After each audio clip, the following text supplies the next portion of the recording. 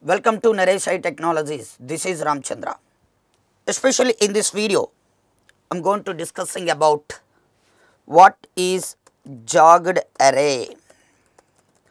What is jagged array and what is the advantages and what are the advantages of the jagged array. Now observe here, whenever we talks about multi-dimensional array, we are always we are always writing same columns in all rows.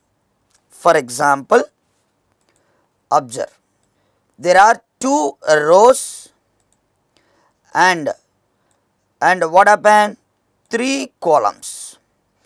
Each and every row contains exactly three columns. Now my intention is how to define this type of uh, multidimensional array. Int array a equal to new int of two rows and three columns. Always each and every row which contains what here? Exactly three elements. But my intention is if you want to hold different column values into different rows then we should prefer what here? Jagged array what is jagged array instead of using instead of maintaining same number of column values and each and every row according to my requirement if you want to maintaining or if you want to uh, contains different different columns in different different rows we should prefer jagged array now how to sometimes we can call jagged array we can call it as for array of arrays. Now observe. So what is jagged array? Jagged array means instead of maintaining same column values in each and every row we need to maintaining different columns in different rows. We should prefer jagged array. Then what is the advantage of the jagged array? Now i want to print. For example if i am taking like a array int array b equal to new int of int array b equal to new int of here I am writing like a 5 then what happened? As of now what we learn in previous videos previous videos according to that knowledge we can draw this diagram like below see like this. How many rows we required? Two rows. Here two rows sorry five rows. How many columns do you require here? Each and every row should contains five columns. Each and every row should maintaining what here? Five columns. Yes. Now my intention is I don't want to I don't want to. When should we go for jagged array instead of maintaining each and every row each and every row maintaining same number of columns I want to maintaining some different values and different columns in different rows. Then we should prefer jagged array sometimes we can also call as what here? This is arrays of array. Nothing but array of arrays. Now let me write here. My value is 10 now in my first row I don't want to use I don't want to place all the 5 column values I want to maintaining only one value. In the second row I want to maintaining only 2 values. In the third row I want to maintaining only 3 values. In the third row I want to maintaining only 3 values. Okay. In the fourth row I want to maintaining only 4 values like uh, double 1, like uh, double 2, like what here double 3, like a double 4. Now in the fifth row I want to maintaining all the 5 values like 1, like uh, 2 and what is this uh, like uh, 3 and 4 and what is this 5. So 5 values. Now if you clearly observe, if you clearly observe you can understand one thing. Now my JVM will providing how many memory location? 5 into 5 totally 25 memory location. What type of array it is? Into type of array. So how many bytes of memory we are using? 100 bytes of memory I am using. Now how many values we are inserting? 15 values I'm inserting. 15 values I'm inserting. That means you are using 4 bytes. Each and every value required 4 bytes. Of, the, reason is the data type is what your int type. So you are using 60 bytes of data. So you are not entering for 10 values. So 10 values means what here here 40. So 40 bytes of data is wasted. So that means this part is unnecessarily wasted. This part is see this one.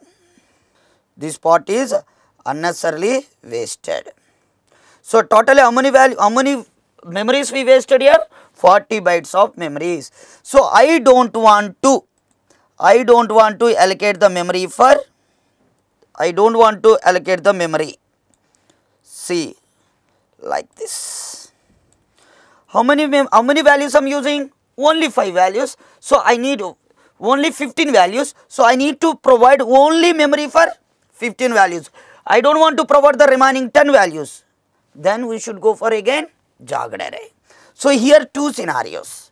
The first one is if you want to maintaining different columns in different different rows, we should prefer what here jagged array.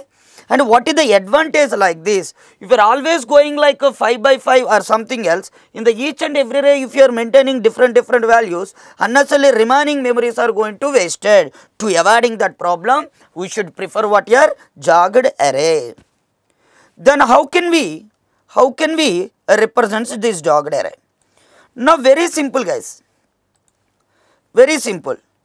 Observe here, I am writing one syntax that is int array a equal to new int, int array a equal to new int, then compile time error.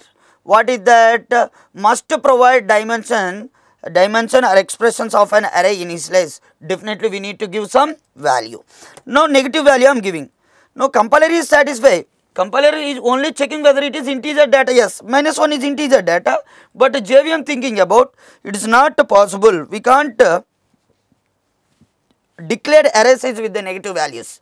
If you are trying to declare the array with the negative values, we are going to face one problem. That is what your negative array size exception. Now, observe. Again, I am going to take double double square brackets. Again, I am getting error. What is that? Dimensions required. Either for single single dimension array or multi-dimension array, we need to provide some dimensions. So, if you are providing dimensions like this, uh, 5 and 5, then what happened here? JVM again providing the memory location like a 25. But my requirement is, I don't want to mention 5 here. Why?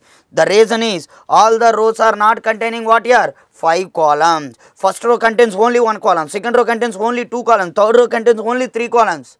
So, different rows which contains what here? Different different columns. So, at the creation of the array syntax, if you are only specifying the row source, if you are not specifying the column size, that is the syntax related to what here? Jagged array. Understand or not? So, if you are specifying here like 5 that is comes under what here multi-dimensional array. If you are not specifying the column size then we should go for concept like what here jagged array. Understand or not? So, the, there are two reasons to go for the jagged array. Instead of maintaining the same columns in the all the rows, if you want to maintaining different columns at uh, different different rows, we should prefer jagged array. And if you are go for multi-dimensional array, and if you are not maintaining the same columns, instead of uh, if you are not uh, maintaining the same columns, and one more time, see small uh, concept here. First one is if you don't want to maintaining all the columns here three columns i have. Both the rows are maintaining what here? Three columns. My re my requirement is in the first row i want to require one column. I don't require two columns. In the second row i required uh, two columns. I don't require three columns. In the third row i required four columns. In that uh, we should go for what here? Jagged array and the second one is if you are writing like a 5 by 5 then jvm blindly providing the memory so instead of creating 25 memory locations, how many locations actually I required? 15 locations. So I need to provide the memory for only 15 location. Then again we should go for jagged array. Then how can we represent the jagged array syntax sir? Very simple int array, int array, array and c equal to new int of we mention what here? Row size. And according to our requirement and according to our requirement we can mention what here? Column size programmatically. This is what exactly? Syntax of jagged array. In the next video i'm going to write program on top of what here? This diagram and also some other program also I'm going to explain by using what here jagged array concept. So I hope you enjoy this introduction related to jagged array. For more videos and for more programs on top of jagged array we'll see in coming videos. I hope you enjoy this video. Thank you. Catch you later.